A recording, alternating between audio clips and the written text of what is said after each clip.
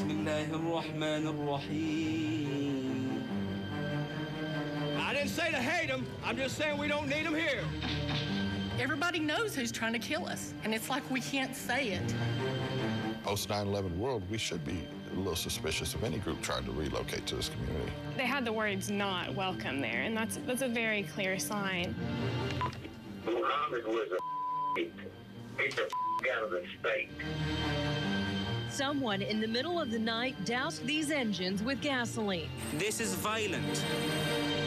We have filed a lawsuit to stop the building of the mosque. They can claim religion all they want, but it don't mean you're gonna come in here and do this in Rutherford County. It's my right as an American citizen to have a place of worship.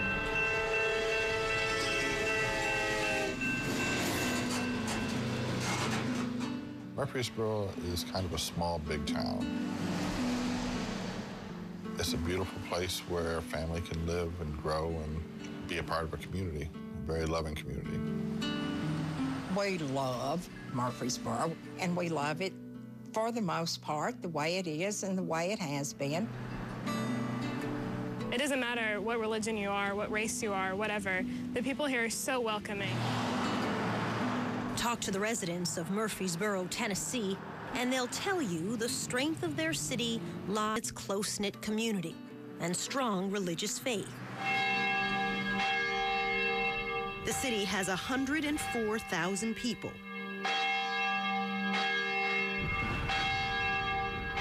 More than 140 churches. أشهد أن محمدا رسول الله Mosque. For decades, Muslims have lived and prayed alongside their neighbors. But in June 2010, their place in the community was questioned, exposing a growing fear of Islam in America, nearly 10 years after the attacks of 9 11. We as citizens, we have families and we have children in this community, and we're trying to look out for our future. We thank you for your love. We thank you for your joy. We Kevin Fisher has lived in Murfreesboro for 20 years. God, if we get a little too high, just He's a corrections officer and a single father. Last May, Kevin was stunned to discover local officials had approved plans for a 53,000 square foot Islamic center in his hometown. Neighbors were outraged that something of this nature was being basically shoved down our throats, so we didn't know anything about it.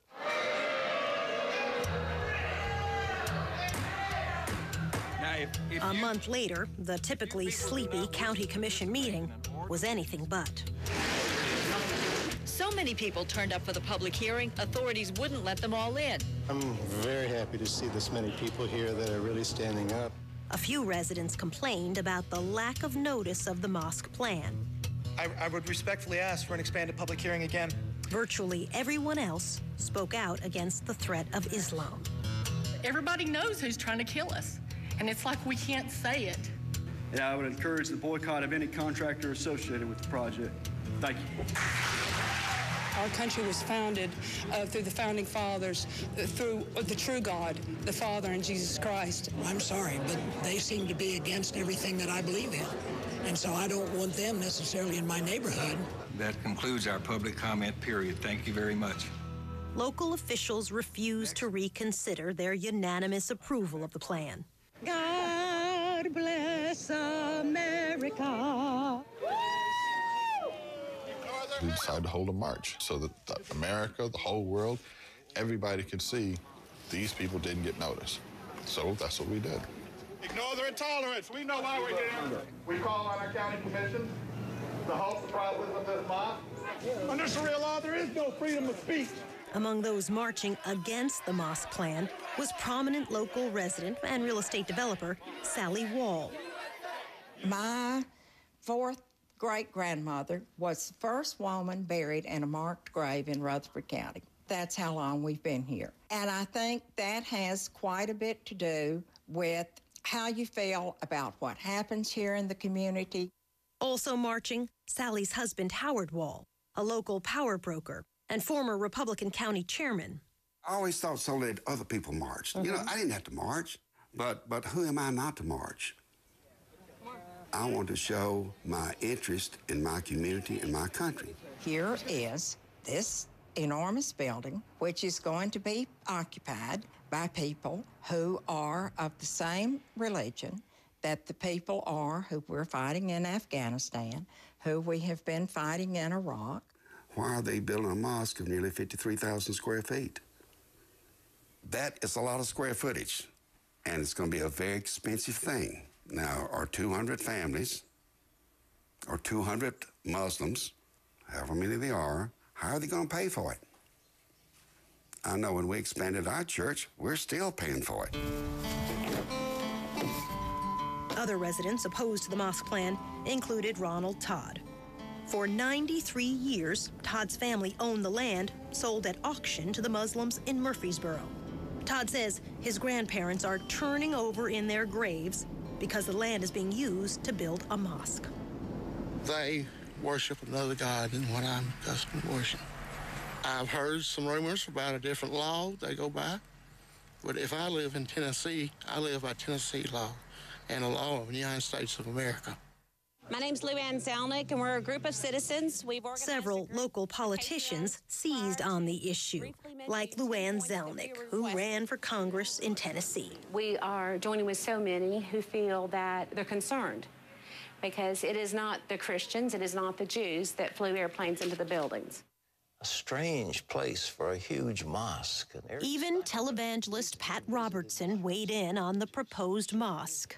You mark my word, if they start bringing thousands and thousands of Muslims into that relatively rural area, the next thing you know, they're going to be taking over the city council.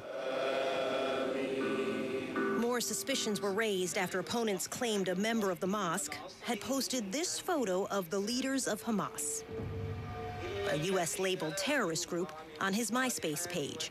He was suspended from the mosque for two months. Post 9 11 world, we should be a little suspicious of any group trying to relocate to this community.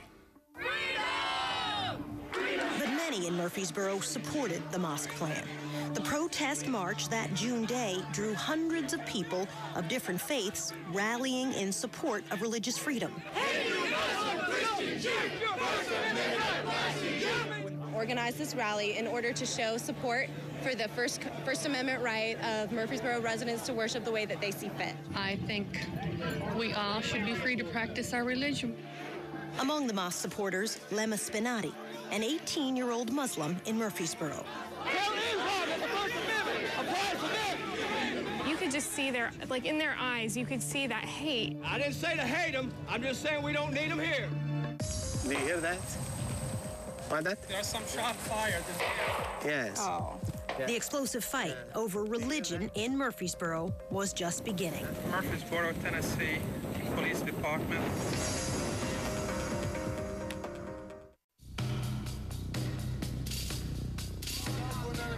The Muslims don't believe in it, honey. The Muslims, they will not live and let live. I was in the military. I've been over there. Go to Afghanistan The fact that I've lived here for so long and I've never seen this side of anyone before, sometimes I still wake up and I'm like, is this really happening? Read the Quran! All infidels must die! to have all of these people come out and openly say that we are against, you know, this religion was very shocking. This mosque that they're trying to build, all it is is a training center. I don't want anybody in there creating something that can be used to attack us. I know they're afraid for their country, but you know, to label all the Muslims and the Muslim community in Murfreesboro in particular to be terrorists, this is nonsense. Saleh Sbenaty has lived in Murfreesboro for 20 years. It's where he and his wife Fatoon raised their two daughters, Lema and Dima, and their son Salim. Do you feel not welcome? No, to the contrary, actually, this is one of the most beautiful city in, in the United States. The people over here are extremely, extremely hospitable and nice. How do we control two seven-segment displays Saleh is an engineering professor at Middle Tennessee oh, oh, State University in Murfreesboro. He was born in Syria. I'm like banking on lab to save my grade in that class. His daughters are students at MTSU. Here. Both were high school valedictorians. There were a few other Muslim students, but not very many at all.